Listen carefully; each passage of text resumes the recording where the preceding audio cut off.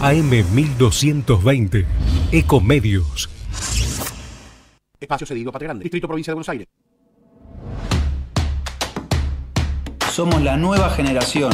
Con la fuerza de la gente vamos a crear la Argentina del siglo XXI. Manuel Bertoldi, Maisa Vascuas, precandidatos a diputados nacionales por Buenos Aires. Patria Grande, línea Vamos. Lista A 301. Espacio cedido al Partido Federal, Provincia de Buenos Aires. Lista 8, Partido Federal, Senador Nacional Adriana del Carlo. La información que pasa por ECO está en ecoya.com.ar. Conectate con nosotros. Facebook.com barra Ecomedios 1220. Espacio cedido a Alianza Frente de Izquierda y de los Trabajadores. Para derrotar el ajuste, votemos al Frente de Izquierda. Frente de Izquierda y de los Trabajadores, lista 510, Gustavo Vincini, precandidato a senador provincial, quinta sección, Buenos Aires. Cliente de personal, alma generosa. Te duplicamos los gigas para alimentar ese corazón gigante, solidario. No solo compartís el apoyabrazos, también compartís toda tu serie favorita. Corazones gigantes. Personal duplica sus gigas sin tener que hacer nada. Internet para que todo suceda. Personal. Beneficio de alcance nacional válido a partir del 14 del 6 del 2017. Consulta planes impactados en personal.com.ar. Ya llega Magazine Financiero. Un espacio para reflexionar y debatir sobre los mercados con una mirada global de la economía. Te acompañamos hasta las 20 con la conducción de Jackie Mobre.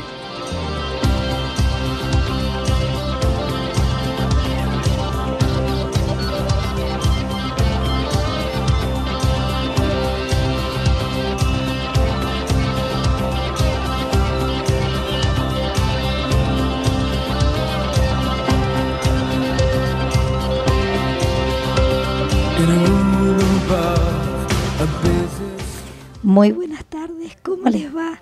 Soy yo, soy Jackie, pero con muy poquita voz. Eh, evidentemente el invierno me ha este, jugado una mala pasada y la voz no quiere salir demasiado. Vamos a tratar de que nos podamos este, escuchar. Eh, yo a ustedes a través de todos los medios de comunicación que tienen para vincularse con nosotros. Ustedes saben que si tienen ganas de mandarnos un mail, lo pueden hacer a magazinefinanciero.radio.gmail.com. Eh, tenemos un Facebook que es Magazine Financiero. Tenemos un Twitter que es arroba magafinanciero. Y si no, nos pueden ver a través del Facebook de la radio, Ecomedios 1220. O, por supuesto, entrando a la web de la radio, que es ecomedios.com. Así que bueno, aquí estoy con mi poquita voz eh, pero totalmente dispuesta y con mucha energía, porque gracias a Dios no me siento mal, es solamente la voz que está afectada. Eh, como les decía, dispuesta a que tengamos una, una linda charla acerca de lo que nos compete, que es el tema de los mercados, de la economía real. Ustedes saben que tenemos una semana llena de noticias, hay muchas noticias técnicas, concretas, y eso me gusta mucho porque nos da mucho espacio para poder eh, hacer análisis de qué es lo que está pasando. Vamos a empezar un poquito por la parte internacional y les quiero contar que aproximadamente el 60% de las compañías estadounidenses y también de Europa ya han reportado sus ganancias. Y los resultados han sido sumamente positivos. Ustedes saben que han eh, incrementado en promedio y esto es un promedio general, las utilidades de las compañías un 7%. Eh, eso ha provocado una suba generalizada en todos los mercados accionarios globales. Fíjense ustedes que en julio eh, cierra, digamos, prácticamente este mes, con los datos que tenemos este, hasta este momento, con un alza del 3% en dólares de todos los mercados de acciones del mundo. Ustedes saben que esto es un signo muy positivo y nos habla de una situación benévola, diría yo, benigna, para que Argentina, digamos, también pueda, eh, a pesar de sus temas particulares, atravesar, digamos, esta situación que está viviendo particular en el momento de una manera mucho más liviana. Este contexto benévolo de crecimiento económico internacional es realmente alentador. Salió el Producto Bruto de Estados Unidos eh, y el segundo trimestre anualizado, el crecimiento del segundo trimestre anualizado, arroja un guarismo del 2%, 2,6% de aumento.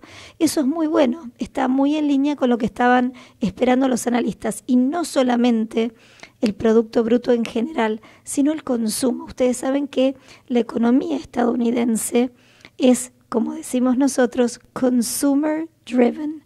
Eso quiere decir que es este eh, digamos, liderada por el aumento del consumo. Y el consumo personal subió 2,8%, así que ese es un indicador también muy bueno.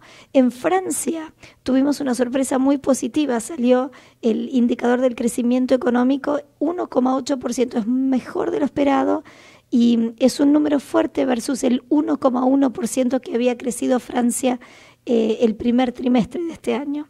Con lo cual, ciertamente tenemos un contexto que estaría ayudando y nos estaría mostrando que el exterior, digamos, nos presenta, digamos, una cantidad de amenazas, pero limitadas. Quizás los temas más difíciles hayan sido los políticos y sigan siendo los temas políticos, pero a nivel macroeconómico luce que todas las economías en general realmente se están recuperando. Ahora, Vamos a ir un poquito um, a nuestro país, vamos a ir un ratito a Argentina y ustedes saben que a mí no me gusta solamente estar en Buenos Aires, sino que también me gusta pasear por el interior del país y hoy vamos a hacer eso de la mano de nuestros invitados. El primer invitado que tenemos, ustedes lo conocen, es Aníbal Casasarregui, eh, él es el eh, dueño, el accionista mayoritario de SIC Inversiones, que es un ALIC de Córdoba, la gente de liquidación de Córdoba. Así que, Aníbal, seguro que nos estás escuchando. ¿Cómo estás? Hola, Jackie, buenas tardes. Veo que seguís lidiando con tu faringitis. Eh, espérame un poquitito porque no te estoy escuchando, Aníbal. Ah, ¿Hola? háblame ahora. A ver, ahora. Más o menos. Bueno, pero a ver, primero y ante todo, ¿cómo está Córdoba? La verdad que Córdoba está con un clima que es muy veraniego este, y acá decimos por ahí calentito los panchos, calentito el dólar, pero bueno, este, cuando cuando vienen las elecciones generalmente pasa que tenemos un poco de turbulencia, ¿no? Es habitual en nuestro país. Tal cual. más allá de eso, la verdad que hasta hace por ahí 15, 20 días, el tema de conversación era que, si bien las cosas no estaban guau, eh, como que de poquito se veía ya el efecto de la obra pública en las calles, este, la cosecha había sido bastante buena, más allá de que algunas zonas lamentablemente habían sufrido las inundaciones, eh, el promedio había sido muy positivo, este, hay muchas muchas localidades del interior, este, Córdoba capital le pega el tema agro, pero el interior de Córdoba, o el resto de las ciudades, depende del agro, estaban en general bastante bien, y incluso todo lo que es maquinaria agrícola, que, la pasó muy mal durante muchos años, hoy está en, algunos casos sufriendo el problema estructural de la Argentina. Hay desempleo, pero no consiguen empleos calificados para aumentar la producción. O sea, eh, panoramas hay hay muchos indicios alentadores de que, de que la economía, por lo menos algunos sectores de, la economía regional cordobesa, por así decirlo, están dando bien. Eh, inclusive el tema autos, de la mano de que Brasil se está estabilizando, también viene, viene repuntando el tema industrial. Eh, y bueno, ahora todos un poquito en veremos o en, modo en modo electoral esperando y escuchando qué pasa. Me imagino que eso es común en todo el país, ¿no? Sí, absolutamente. Yo te diría que sí, es lo que se siente en todos lados. Decime una cosa, ¿es verdad que ya tenemos una SGR de Córdoba? Eh, hablemos de SGR y esta, sí que fue premio premio la paciencia porque en, como es clásico en Argentina se mezclaron cuestiones mucho más allá de las técnicas y, bueno, Córdoba con su perfil poco K eh, durante muchos años se vio relegada, incluso en un SGR que demoró, eh, ya está en carril de infante, digamos, de cuando empezó, hace cinco años que habíamos empezado el tema, y, bueno, por suerte da de la mano de, la ayuda de, los funcionarios de la Secretaría PYME y de los organismos respectivos, la fuimos poniendo en orden y bueno, ya hemos recibido los primeros aportes y estamos empezando a dar los primeros avales que Dios quiera que, este segundo semestre del 2017 sea el de la puesta en marcha definitivamente del SGR y creo que llega en un momento justo, ¿no? Porque bueno, en la medida que la economía empiece a tirar, las pymes necesitan soporte crediticio, muchas veces eh, aquel que no es fácil de conseguir, eh, tanto por algunas inversiones, que ahora si querés hablamos un poquito de algunos instrumentos que también la CNB nos, nos ha dado algunas sorpresas en el tema PYME, eh, y en el financiamiento de capital de trabajo, que más de una vez este, se financia en la máquina, hermosa, le instalaste todo, pero todo el resto de eh, la materia prima que necesitas comprar, el crédito que tenés que ver cuando vendés y demás, el famoso capital de trabajo estructural o permanente, a veces es difícil, bueno, la SGR cuenta con eh, posibilidad de, avalar, ya sea líneas financieras específicas de los bancos, o los instrumentos del mercado de capitales que para eso están y, funcionan bastante bien, ¿no? Claro, y ahí podemos contar o hablar un poquito de un instrumento que es relativamente novedoso y yo me imagino que te estabas refiriendo a él, que es el de las ON simples, ¿no? Correcto, la verdad que, que bueno, por lo menos esta vez eh, las expectativas que, teníamos con respecto a, lo que iba a salir escrito al menos, eh, te diría que fueron alcanzadas o quizás hasta superadas en alguna medida por, por lo que salió de SNB. Por supuesto que ahora está el desafío de, implementarlas y ver cómo, se pone en marcha todo. Están, ya está en proceso y me junté inclusive con gente de SNB hace unos días y, están muy entusiasmados y con muchas ganas de impulsar y de ayudar a que las pymes puedan, puedan usar el sistema y dentro de las mismas SGR también veo que hay que hay eh, entusiasmo, ¿no? O sea, se ve como que esto puede venir muy bien. Y hay algo en, en, las ONPYME que por ahí mucha gente no, no lo evaluó todavía, pero que, para mí es clave, eh, estando en el interior, que va a ser el primer instrumento PYME que un inversor particular lo va a poder comprar y va a tener las exenciones impositivas que tienen los instrumentos de las grandes empresas. Claro. Porque la realidad es que eh, un pagaré bursátil o un cheque avalado, un inversor que estuviera de Córdoba, que quisiera comprarlo, se veía penalizado porque la ganancia está grabada. Entonces, Exacto. en el día no era competitivo.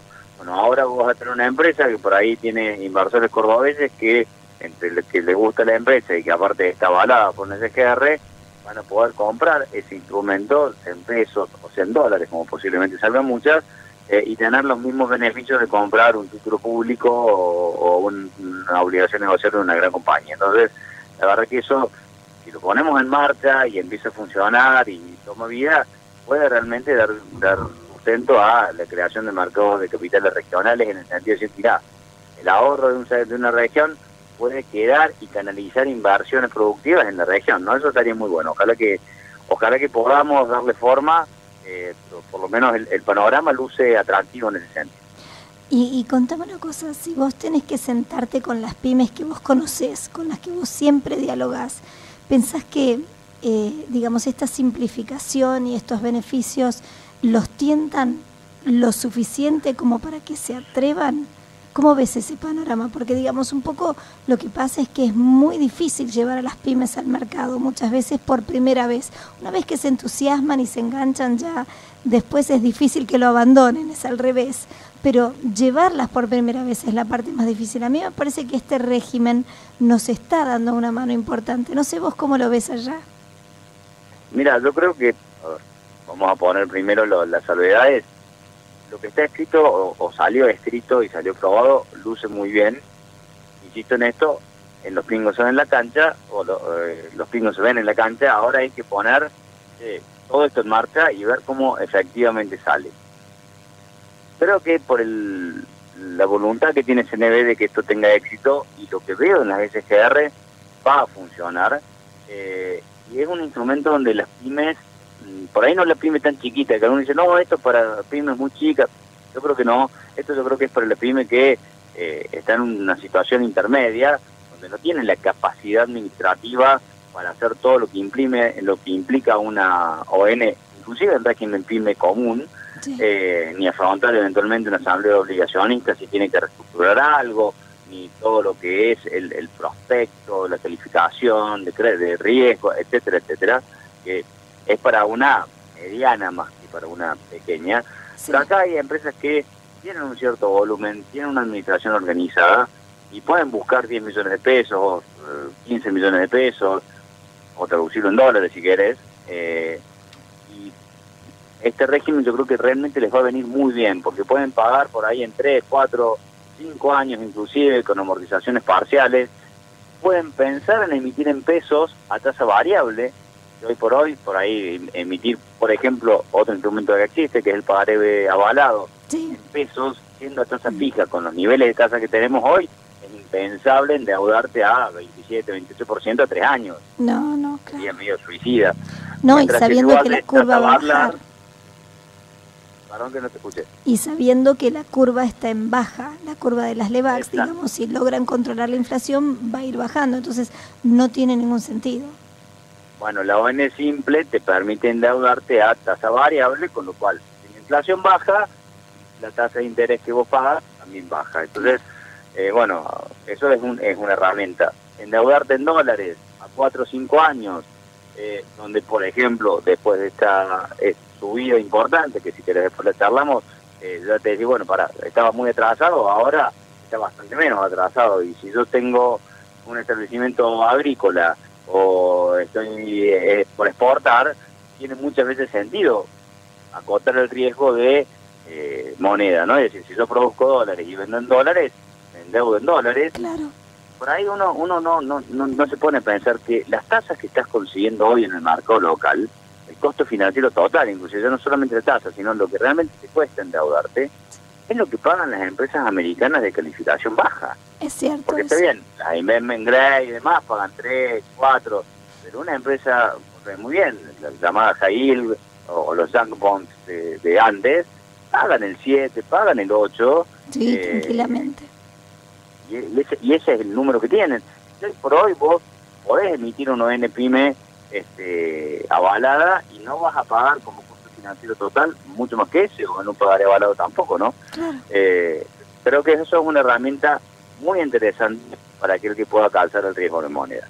Eh, yo veo que, mm, hay interés. Me parece que eh, nosotros venimos hablando con varias con varias pymes que mm, tienen varios proyectos eh, avanzando, por ejemplo en el sector inmobiliario, donde el tema del famoso crédito hipotecario puede ser un factor explosivo en el buen sentido. Sí, claro. Realmente si, si se logra implementar creo que ahí está la combinación de lograr implementar los créditos sin necesidad de la escritura y por otro lado lograr bajar la inflación para que la gente se anime más a tomar los créditos indexados. Eh, la verdad que cuando hablas con, con, gente seria que está en el negocio hace tiempo, ve que puede ser un, un, impulsor de la, de la demanda privada de inmuebles de una forma como hace mucho tiempo que no lo vemos, ¿no? O sea, en, en, algún momento de la convertibilidad que, que los créditos hipotecarios toman importancia. Eh, hoy en Argentina son insignificantes y en otros países no de Europa desarrollada, sino de Chile, eh, Brasil, tienen porcentajes del PBI que son 10 o 15 veces mayor, no un 10% más, 10 o 15 veces mayor eh, a lo que están hoy en Argentina. Entonces, la capacidad de expansión que te puede dar eso es, es muy grande. Y bueno, necesitas financiar también la participación de, de las empresas, bueno, un ON eh, a 4 o 5 años con amortizaciones parciales calza muy bien con este tipo de productos. Aníbal, muchísimas gracias por charlar con nosotros. Me disculpo por la voz porque la verdad es que se me escucha poco, pero yo sé que me conoces y sabes este, que te agradezco muchísimo, muy enfáticamente, que, hayas charlado un ratito con nosotros esta tarde. Te mando un beso grande. Por favor, al contrario, gracias por la oportunidad de, estar siempre. Besote, chao. Muy bien, este era Aníbal Casas Arregui. Eh, estábamos charlando un poquito sobre, sobre el interior, ¿no? Ustedes saben que a veces acá en Buenos Aires vivimos o tenemos una percepción y en el interior hay otra. Fíjense ustedes que aquí en Córdoba empieza como a sentirse un poquito más holgada la situación y no era lo que pasaba, digamos, hace unos varios meses atrás. Así que la verdad es que es una alegría y es reconfortante escuchar que por ahí hay una, una especie de recomposición que está aconteciendo en el interior del país. Vamos a hablar un poquito más de este tema de, del aumento de actividad. Pero ¿qué les parece si ahora yo silencio mi voz un ratito a ver si se recupera y toma un poquito más de fuerza todavía? Y mm, escuchamos eh, algo de música. The Cure, Love Song.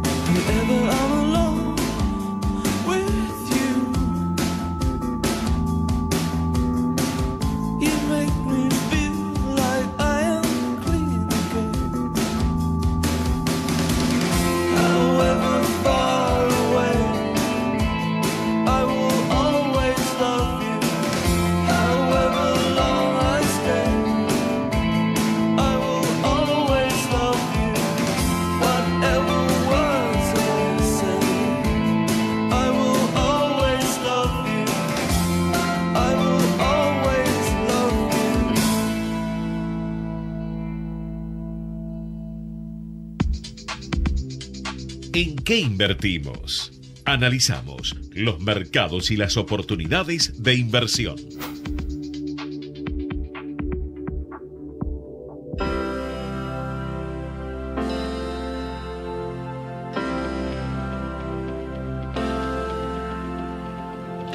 Muy bien, y seguimos en Magazine Financiero. Ustedes saben, a pesar de mi poca voz, pero no importa la voz, porque lo que importa es la polenta, las ganas de estar acá y de compartir este ratito con ustedes. Y bueno, el tema de la semana y el tema de estos días, de todos los inversores, les diría, de los institucionales y de las personas físicas, digamos, que nos consultan, ha sido el tema del tipo de cambio. Eh, el tipo de cambio esta semana, el tipo de cambio mayorista esta semana subió un 2,5%. Y mm, la verdad es que si nosotros observamos un poco qué fue lo que, lo que ocurrió, el Tesoro Nacional inyectó, digamos, aproximadamente unos mil millones de dólares en el mercado. La provincia de Buenos Aires también tuvo algunas emisiones, pero nada de eso paró esta trayectoria ascendente. Por el otro lado, ustedes saben que eh, también hubo exportaciones de cereales, eh, perdón, liquidación de los exportadores de cereales, eh, que alcanzaron aproximadamente 450 millones de dólares, pero esto es un 31% menos que la semana pasada. Entonces, ninguna de las acciones naturales que contendrían el valor del dólar eh, ciertamente lograron frenarlo. Entonces, la pregunta que cabe y que todo el mundo está inquieto es, hasta cuándo va a seguir, qué es lo que está pasando, se va a desbocar. Y la verdad es que nosotros seguimos sintiendo que es un tema mucho más coyuntural eh, y coyuntural también alimentado, por supuesto, por la volatilidad política. Eh, ahora, eso no quiere decir que no hay que atender el tema y que quizás es momento de, para aquellos que están incómodos, como venimos conversando hace un par de semanas, de ir dolarizando la cartera. Entonces, yo les decía hace un ratito que mm, nos encanta ir por el interior. Y bueno, ahora, después de haber estado en Córdoba, nos vamos a ir a Rosario a hablar con un experto, a hablar con Fede Fillela, Federico Fillela, que es portfolio manager de Rosenthal. Y vamos a charlar un poco con él cómo refugiarnos ante este escenario de volatilidad en el tipo de cambio. Así que bueno, Fede, ¿cómo estás? Tanto tiempo. ¿Qué tal? Tanto tiempo, Jackie. ¿Cómo, te, cómo, cómo estás cerrando las... Veo un poco tomada la voz. Ay, terrible, Fede, terrible. Pero bueno, es lo que yo digo, ¿no? La voz se escucha mal, pero el ánimo está intacto. Así que acá... Bueno, y realmente la, la, presentación eh, mejorable. Te escuchaba y bueno, un poco... Eh, la incertidumbre real eh, es la que tenemos todos. Eh, tampoco yo voy a venir a, descubrir nada nuevo, eh, solo expresar a lo mejor mi perspectiva, que es creo bastante parecida a la tuya por, la introducción que hacía. no solo la semana, que fue el foco de, la descripción que hiciste, fue complicada, sino el cierre, que de hoy, agrego, como también como información, fue bastante desconcertante por el volumen operado, hoy en la plaza cambiaria, por el, eh, lo firme de la demanda, otro punto que me parece interesante marcar, eh, muy firme, incluso con algunas eh, intervenciones o algunas eventos importantes que hubo sobre el cierre de la rueda, realmente muy firme. Yo no vi que cuando, el mayorista bajó a, a 17.80 los, los compradores han corrido, eh, eso también me llamó un poco la atención, por eso digo, realmente se mantuvo bastante firme todo. Eh, y la incertidumbre, digamos, todo el foco está puesto en qué es lo que sabe el Banco Central. A lo mejor nosotros no sabemos, porque por otro lado sabemos que tiene herramientas como para poder frenarlo cuando quiere, muy cómodamente, que es lo que el, el fondo de lo que vos eh, justificabas como eh, esa tranquilidad de largo plazo que, hay por, por, la, cantidad de dólares que tiene como para hacerle frente al, mercado. Pero, pero bueno, ese cierre de la semana, las que tiene, si hoy te puedo decir, las perspectivas que por lo menos yo recogí dentro de la operatoria, eh, es eh, bueno, de, algún, por, de alguna manera estaría siendo la vista gorda, porque si bien el movimiento en el cortísimo plazo del último mes, dos meses, fue importante, en el acumulado del año el, movimiento del tipo de no fue tan crítico tampoco. Esa es una de las dos visiones, entonces sería como que el, banco está cómodo más allá de lo, crítico que va a estar generando ahora en estos días. Claro. Y lo otro es eh, alguno hoy, la, la- la especulación era, no, pero hay que esperar tranquilo que en algún momento de los próximos como una especie de, eh, a ver, eh, corrección por parte del central o, o, digamos, intervención como para dejar en claro que no, no quiere que se especule con la moneda y que el control lo tiene el banco. Eh, y hablaban de la posibilidad, incluso ponían hasta un precio que vuelva a una zona de 16.70, 16.80. Creo que son las dos vías que hay. Yo estoy un poco más inclinado primera, a que el agregado total de cómo estamos parados, eh, en qué año estamos parados, y cómo ya se va dando la, la cuestión electoral y cómo está la economía. Entiendo que el banco tampoco queda tan incómodo el tipo de cambio para arriba, a lo mejor en algún momento le, le pone alguna, algún freno como contundente, como para eh, dejar en claro, digamos, que, que es el que domina la plaza, pero no me parece que, que vaya a ser tan drástico como esa otra alternativa se barajaba hoy, de en algún momento va eh, a corregir todas esas expectativas excesivas que se puedan haber mostrado. Entiendo. Y en ese escenario, digamos, eh, ¿cómo hacemos para que nuestros inversores se puedan refugiar? ¿Cuáles son los instrumentos que vos estás recomendando para que la gente al menos construya un refugio?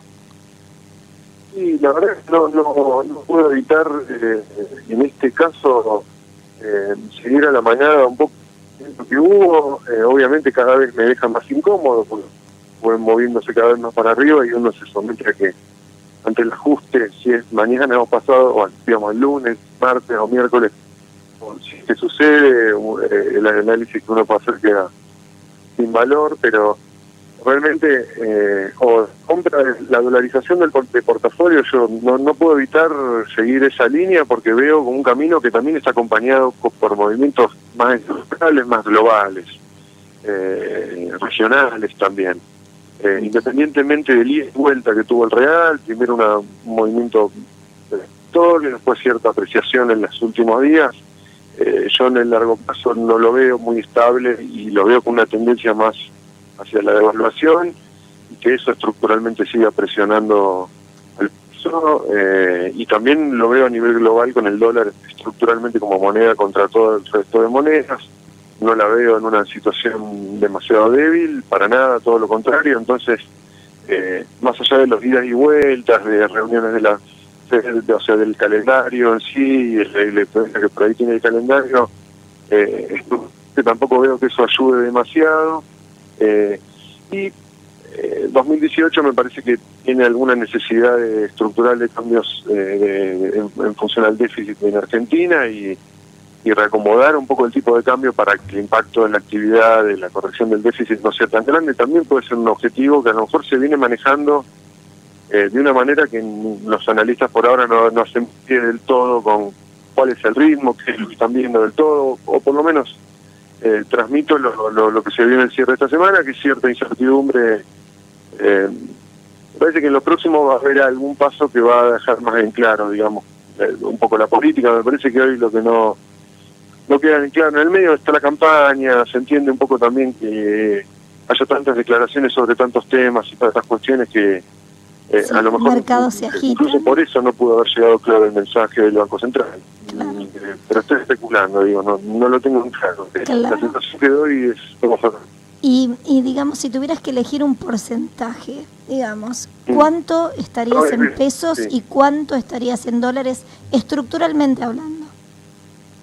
No, en, en esta parte del en esta parte del año, digamos, estaría más en un 70-30 que a lo mejor en otro momento que estaba al revés, estaba Claro. más 60, 40, 60 pesos, por ahí 40 dolarizados. En la primera parte del año, eh, donde se veía el- ese camino más tranquilo del tipo de cambio, las tasas seguían altas y daba esa posibilidad de hacer ese negocio. Hoy quedó un poco sucio ese tema, eh, el tema electoral se volvió a prioridad, realmente no especularía. No me parece un momento popular porque la variable política en Argentina siempre fue bastante sentido, no sabemos qué pueda terminar de pasar con los candidatos. Es algo real, no se lo puede evitar. Sé que no estoy descubriendo nada, ojalá pudiera estar dando un, un indicador o una fórmula que lo resolviera de una manera más técnica, pero la verdad que el ciclo político en Argentina a veces tiene tantas cosas que Eso es lo que puedo decir. Yo estaría más 7 a, a 3 dolarizado. Eh, eh, ¿Y que estaría y en parte corta sí. de los bonos en dólares? Claro, sí, sí, igual, a lo mejor trataría de buscar los, los que no... Veo que la- parte corta a veces tiene, tiene una volatilidad, en los últimos se generan también por la propia volatilidad del precio más del spot, digamos, de cómo viene el, el, el precio contado. La parte media sorpresivamente se mostró más estable, tanto las malas como las buenas. Digo parte media a lo mejor no tan largo, poner un Bonar 24, algo de discount, algún poner 20, eh, digamos 2025, 27, toda esa parte en lo que cada uno pueda, porque no todos son para todos los portafolios, pero eh, sí, Por los mínimos, digo que no son para todos los portafolios, por los mínimos de compra Claro. que tienen esos bonos, ¿no? Pero un Claro, Bonar exactamente. 24 me parece que es un refugio, quizás un doble 19, bueno, es un poco corto ese. Este, claro, eh, el tema es la volatilidad del tipo de cambio del spot, te genera volatilidad en el precio también, eso también puede No, digo, un poquito. a lo mejor, ¿sabes por qué? Porque en los últimos días pasó ponerle una cosa que hubo, como hubo y marcha, y ida y vueltas, idas y vueltas a lo mejor del, del tipo de cambio en, en contra de la gente que había apostado ir muy de lleno los bonos bien corto costo, eh, tuvieron oscilaciones fuertes de rueda tras rueda y a lo mejor me tocó a mí, viste, que me dijeran justo un día, uy, justo me cayó hoy. Y Uno no puede dar exactamente que el lunes iba a ser tanta suba, luego el martes todavía ajustó, el miércoles volvió a subir. Un poco complicado pegarle al hacer pie con eso, pero este, me dejó más tranquilo un poco. Sí, discúlpame. No, no, digo, obviamente que es muy difícil, eh, siempre uno da, digamos, sus recomendaciones para un plazo este, relativamente mediano, porque es casi imposible, salvo que estés siguiendo finito el mercado y estés tradeando el mercado todo el tiempo, poder dar una recomendación a un tercero de esa naturaleza, ¿no? Este, sí, sin duda. pero bueno, Sí, lo que tuvo a lo mejor esta semana es que te sometió a eso, que de un día para el otro a lo mejor mm, marcar a lo mejor un 1% abajo o bajar que a lo mejor al inversor le cuestan, pero eh, es así tampoco se puede. Sí, no se puede cambiar la más. naturaleza de un mercado volátil, es totalmente cierto. Fede, te quiero agradecer muchísimo que hayas charlado conmigo a pesar de mi voz. No, y este y bueno, gusto.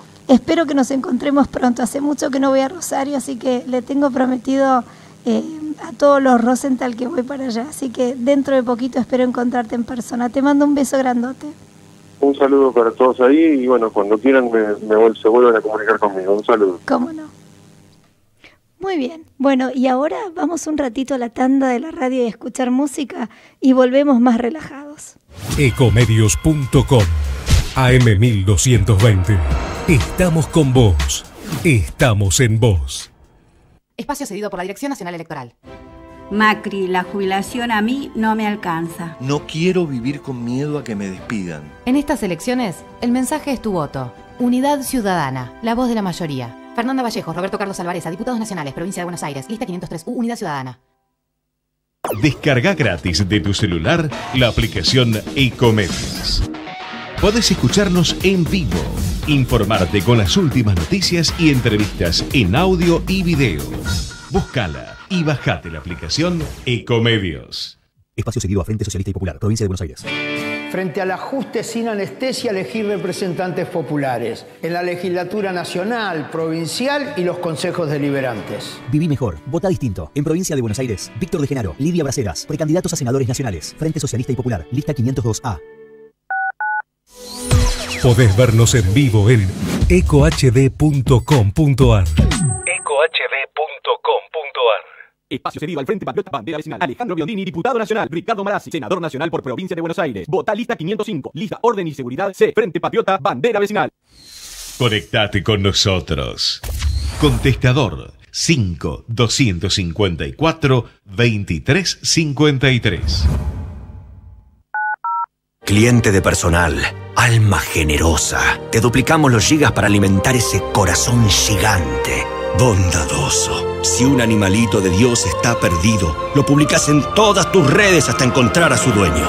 Corazones gigantes. Personal duplica sus gigas sin tener que hacer nada. Internet para que todo suceda. Personal. Beneficio de alcance nacional válido a partir del 14 del 6 del 2017. Consulta planes impactados en personal.com.ar. Magazine Financiero. Hasta las 20 conversamos sobre finanzas, empresas y economía.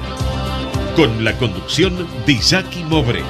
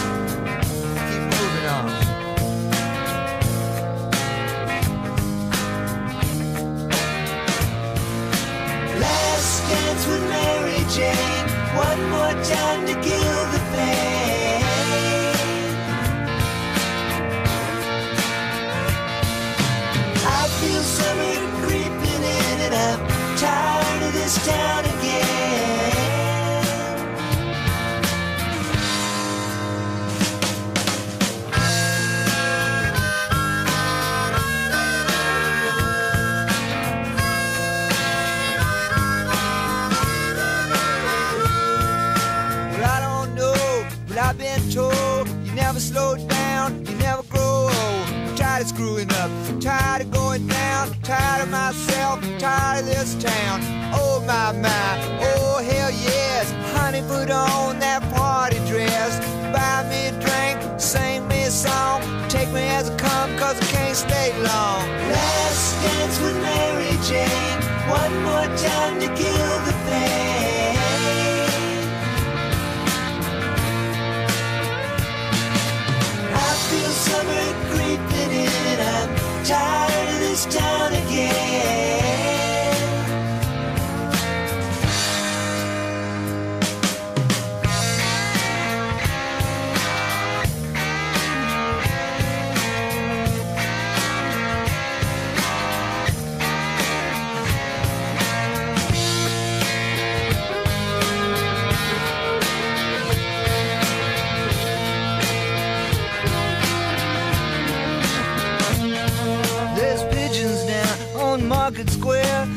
Standing in her underwear, looking down from a hotel room.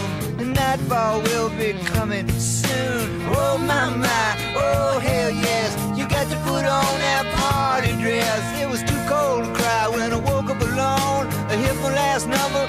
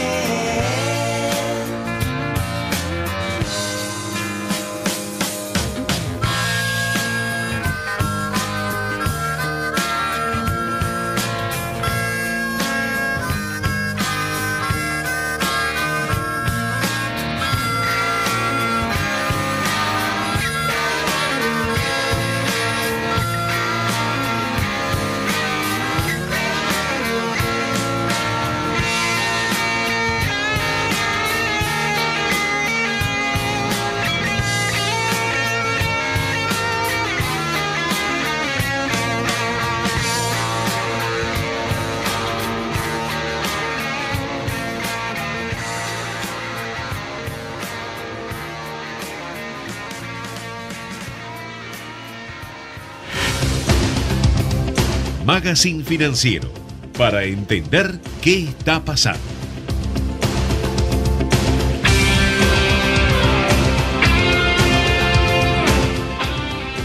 Muy bien, y acá estamos de vuelta. Estábamos escuchando a Tom Petty and the Heartbreakers, Eh, el nombre del tema es Mary Jane's Last Dance. Y no sé si vieron el video, está buenísimo, es rarísimo. Es Kim Basinger que hace de, eh, de Mary Jane y se trata del último baile de esta chica que se llama Mary Jane, pero el protagonista baila con ella cuando está muerta. Es tremendo el video. Bueno, eh, quiero de paso mandarle un beso grande a nuestro DJ, a Dani Bairo, que nos elige todos estos temas y además de los temas, los videos. ¿eh? Bueno, no saben lo contenta que estoy por tener a mi amigo eh, Nelson acompañándome, porque la verdad es que la voz, como se van dando cuenta ya, tiene poca energía. Así que es genial y es buenísimo tener un querido amigo acompañándome en el piso, pero justamente, no solamente porque es mi amigo, sino porque tenemos algunos temas muy interesantes. Ustedes saben que él es el titular de Claves. Claves es una consultora que hace todo tipo de análisis económico y eh, uno de los temas de la semana ha sido el crecimiento económico de Argentina. El EMAE nos ha mostrado que Argentina ha crecido un 3,3% año contra año y la verdad es que me encantaría escuchar el análisis que tiene Nelson para, para hacer al respecto y que nos cuente un poco, porque estoy segura que vino con algunas perlitas también. ¿Cómo le va? ¿Cómo, anda? Muchas gracias por acompañarme. Gracias, gracias por invitarme. Gracias por los amigos, porque eso es lo más importante. Tal cual. La verdad que sí. Y sí, usted es un amigo, porque para bueno, venir a hablar conmigo bueno. con este estado de voz, Pero vamos tiene a que ser un de, amigo. de liberarla un poco a Jackie y, y dejar que repose un poco y, y tratar de confundir a los oyentes con, con algunas cosas que, que bajan un poco de la macro. Eh, muchas veces se habla de crecimiento y se dice que el EMAE creció 3,3%, etcétera. Y como dicen algunos colegas, este, analistas, eh, a veces los promedios en- esconden muchas diferencias, ¿no? Y, y de repente a nosotros nos gusta ir lo más abajo posible en los sectores y tratar de encontrar, y sobre todo lo más difícil es encontrar los que le va bien, porque la verdad es que a Argentina en general no le va demasiado bien, en términos generales. Eh, creció un poquito la economía, pero la verdad es que no estamos en un boom económico ni mucho menos. Eh, de todas maneras, siempre hay perlitas y generalmente lo que aparecen en los medios son los que le va mal. ¿No? O sea, Sí, tal cual, la propaganda negativa está full. eh, no, pero digo, eh, la, la lógica de, de la comunicación es que uno en los medios necesita ver lo mal que le va a los demás y en Facebook necesita publicar lo bien que le va a uno. Cosa que es, yo creo que la realidad pasa por un promedio de esas dos cosas. Porque ni, ni todo es tan bueno como parece en Facebook, ni todo es tan malo como que todo se cae, los aviones y la fruta se tira y qué sé yo, y, y hay problemas con esto y con aquello, sino que creo que la cosa es un promedio. Eh, en un país que me parece que tiene estructuralmente dificultades, porque la verdad es que creo que no... Primero que no, no apuntamos a un crecimiento económico sostenido, creo que no hay una lucha por tratar de transformar la realidad y trabajar en la competitividad, sería trabajar con otra lógica, sería tratar de hacer de que el país exporte algo, porque esa sería la lógica virtuosa para todos, porque siempre estamos entre defender a la industria o defender al consumidor.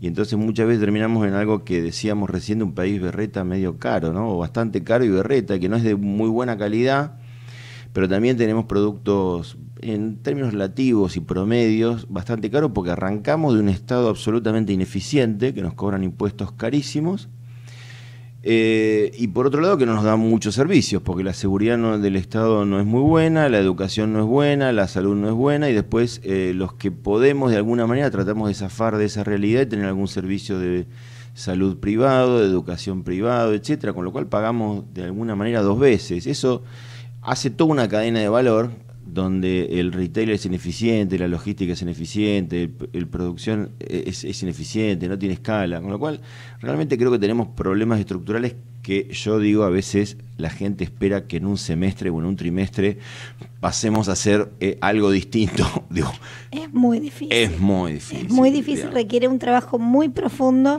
Es para muy que difícil. realmente los cambios se puedan, como decís vos, sostener en el tiempo y que sean ciertamente estructurales. Vos decías una cosa y yo lo enganché en mi pensamiento con lo que estaba diciendo Aníbal, que a veces, eh, Aníbal desde, desde Córdoba, lo que decía es que muchas veces las pymes no consiguen mano de obra O sea, no, No. consiguen la mano de obra calificada que necesitan. Hay mucha No, gente sin y- empleo, pero no hay mano de obra calificada. El tema del empleo Tema me, de la me- educación. me parece que es una problemática general donde además a mí me llama la atención que acá, digamos, aparecen notas en distintos medios donde la gente dice yo quiero un trabajo digno, tengo derecho a tener un trabajo y hay un problema de empleo mundial, o sea, y, y, digamos, a mí me llama la atención que Trump dice que los mexicanos le van a sacar tra- trabajo a los estadounidenses y, y la verdad que la industria, una de las industrias más importantes americanas es el la robótica, todo el desarrollo que, bueno, está llegando, inteligencia artificial, etcétera, y, y todo esto te va a sacar mucho más trabajo que los mexicanos. Muchísimo. Entonces, digo, el tema del empleo me parece que es un conflicto eh, mundial, el, el de tener a la gente empleada, eh, porque no solamente es una cuestión de ingresos, sino creo que vamos a una economía de la abundancia, eh, donde quizás la gente tenga dinero, pero si no tiene que trabajar es un problema, porque una persona sin tener nada para hacer, eh, quizás se le ocurre el día con los videojuegos o drogarse, con lo cual me parece desastroso. Y, y lo que logramos tratando en Argentina muchas veces de proteger al empleo, logramos eh, un sistema totalmente eh, desastroso, porque tenemos 20 millones de personas teóricamente en relación, eh, perdón, con capacidad de estar empleados, 2 millones aproximadamente desocupados, o sea, que quieren trabajar y no consiguen empleo. Pero si vamos a lo que es el, el mercado formal, estamos eh, hablando de que solamente hay 6 millones de personas en relación de dependencia en empresas privadas, mientras que hay un millón y medio de monotributistas, 500 mil autónomos, algunos trabajadores sociales, etcétera, 3 millones en el Estado, Tres millones, es una locura. 3 millones en el Estado y 6 millones, o sea, mil canchas de River llenas, otros, lo mismo que la gente que está formal, en negro. Terrible. O una sea, locura. Yo digo, evidentemente, evidentemente la capacidad de organizarnos que tenemos como sociedad y, y la democracia, digamos, acá no le achacamos nada a ningún partido, ha sido bastante desastrosa, porque las leyes tratando de proteger a medio mundo, y uno de los mercados que nosotros analizamos, y puedo ir a, a- a perlitas que, digamos, tratando de, de no repetir los sectores que hablan todos los economistas macro, que son para mí un poco aburridos, pero uno de los sectores que analizamos es el de- el de personal temporario. Personal temporario tenía cerca de 100.000 trabajadores eh, que empleaba en forma temporaria con empresas que le daban eh, servicio a otras compañías. Claro. No puedo mencionar ya varias, pero digamos algunas multinacionales, Adeco, Manpower, etcétera, y otras nacionales, Byton, etcétera, ¿no? Eh, ese sector prácticamente hoy debe tener la mitad del empleo que tenía hace unos años. Y esas personas que hoy no están en, un, en una empresa de personal temporario, no están empleadas formalmente. Están con algún trabajo, muy probablemente en negro. Informal, claro. Terrible. Por lo tanto, yo digo, no queremos la precarización, no queremos la variabilidad, pero el mundo está yendo a un esquema mucho más variable. Entonces tenemos que entender cuál es la lógica para tratar de ser competitivos, para que alguna vez podamos hacer algún mecanismo virtuoso y que esto crezca de alguna forma sostenida y, y eso genere riqueza, etcétera. Eso sería para mí lo lógico. Pero bueno, eh, volviendo a, la realidad que, que nos toca, digamos, en este último trimestre encontramos eh, diferencias. Y como decíamos recién, algunas no salen en los diarios. Por ejemplo, fabricación de instrumentos médicos, ópticos y de precisión. O sea, Nadie habla de eso. equipamiento hospitalario está creciendo posiblemente por inversiones del Estado, seguramente o inversiones privadas, y esto creció 41% en volumen, con lo cual realmente sideral. Desco- descollante. Sideral. Pesca creció un 31%, fabricación de equipo de transporte 29%, vehículos obviamente, pero además también hay que ver la realidad, porque adentro de los sectores, eh, una cosa es la tasa de crecimiento y otra cosa distinta es la rentabilidad. Ah, por supuesto. Mayor volumen no necesariamente es más rentabilidad. Y acá tenemos un caso particular, el caso de los automóviles. Todo el mundo dice crecimiento de la venta de autos, eh, o sea, casi te titularía boom del mercado automotriz, porque además es una industria particularmente muy prensada. Pero la realidad es que los márgenes de rentabilidad y además sobre todo las concesionarias están prácticamente destruidos y es raro que alguna esté, digamos, break-even sólido. Exacto. Entonces lo, que- lo que tenemos es crecimiento de volumen a costa de relegar bajar los precios o de comerse los, los márgenes. de relegar realidad. márgenes. Claro, claro, Entonces, márgenes. digamos, yo lo que digo, y, y esto también hay que verlo eh, en, en otros mercados, no necesariamente los incrementos de volumen son mejoras de la rentabilidad. Claro, no, no, eso desde ya. Eh, y yo creo que, a ver, en algunos mercados vamos a poder encontrar en algunos momentos que los incrementos, el sector agropecuario, el sector agropecuario definitivamente está creciendo. Está creciendo, por ejemplo, eh, bueno, agricultura, ganadería, eh, todo lo que es el tema de fertilizantes, 7, 8%. Bueno, o sea, hay sectores que están creciendo, pero posiblemente el aumento de volumen en algún momento produzca saturación y vos sabés perfectamente lo que son el tema de los commodities. Claro. La baja de volumen de repente te sube los precios y hasta mejorás el margen. Exactamente. Por lo tanto, lo que digo es no necesariamente una cosa, o sea, no necesariamente es una buena noticia o es una perfecta buena noticia. no. Eh, hay un, fi- un historiador filósofo que yo estoy siguiendo eh, casi, digamos, eh, enfermizamente, que es el señor Yuval Noah Harari, que alguna vez lo comentamos, este, y que dice que hoy el paradigma es el crecimiento económico. En el mundo, todo aquello que tenga crecimiento económico parece que es positivo. Y la realidad es que podemos tener, qué sé yo, problemas energéticos. En algún momento hay algunas cosas que, eh, digamos, no necesariamente el crecimiento económico es positivo es- es para toda la humanidad. Exactamente, ¿no? Y además, uno de los grandes temas que, digamos, afecta mucho es el tema de la distribución de ese crecimiento e implícitamente la distribución del ingreso, ¿no? Bueno, Porque eh, hay eh, sectores que, como vos decís, generan mucha riqueza y hay otros sectores que no generan tanta riqueza. No vamos a tener tiempo para ese punto. Te digo eh, alguno, porque no, eh, definitivamente esto cada vez está empeorando mucho más. Sí. Y, y es más, lo que se plantea es quizás una división del ser humano. Eso quizás, digamos, Como una división del ser humano. Sí, lo que, lo que plantea el señor Yuval es que va a haber ciberdioses y un segmento de clase inútil y que posiblemente el paradigma que igualaba a toda la sociedad, que era posiblemente que todos nos moríamos más o menos igual, el desarrollo de la tecnología que ahora va a estar enfocada en mejorar el cuerpo del hombre, no mejorar todo lo que está afuera, sino mejorar tu cuerpo, Sí. posiblemente empiece a diferenciar bastante la expectativa de vida de los ricos de los pobres. No solamente vas a tener... Wow. Ah, es un tema flash. Por eso, te diría que tenemos ah, para, para un programa tenés que entero. volver. Te tiro, te tiro los negativos, fabricación de televisores, radio, etcétera, todo el tema de Tierra del Tierra Fuego, del Fuego. cayó 37%. Wow. Así que eso viene en caída libre. Fabricación de productos textiles, menos 17. Fabricación de prendas de verdad y convección, menos 9. Papel cayó 6%. Y minería eh, tampoco arranca. O sea, no tenemos... A pesar eh, de todo, de a- todas las. no, digamos, pero todavía no, no hay, digamos, una decisión por parte de los inversores. Yo creo que nosotros tenemos una, eh, una cantidad de recursos espectaculares y, y a veces uno se acuerda de la frase que dicen que fue de De Gaulle, que dice, "Eh, Argentina es un país que tiene un gran futuro y siempre lo tendrá.